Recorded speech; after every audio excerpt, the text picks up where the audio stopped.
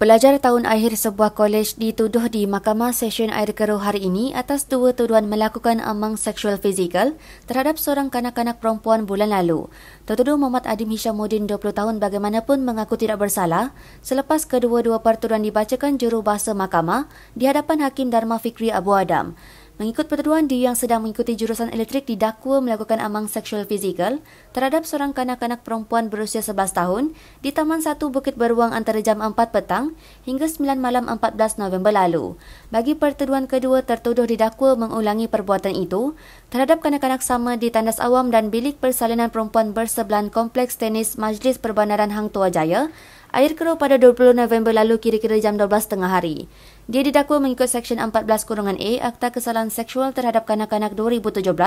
memperuntukkan hukuman penjara maksimum 20 tahun dan sebat jika sabit kesalahan